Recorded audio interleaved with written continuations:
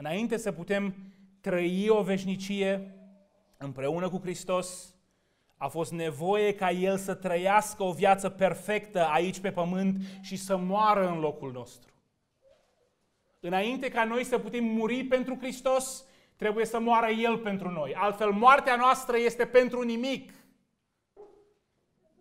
Atâția oameni de-a lungul istoriei și-au dat viața crezând că dându-și viața îl pot câștiga pe Hristos doar să ajungă martiri în iad.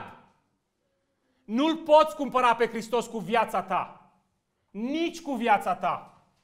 Ca viața ta să conteze pentru ceva, El trebuie să-și dea viața pentru tine prima dată.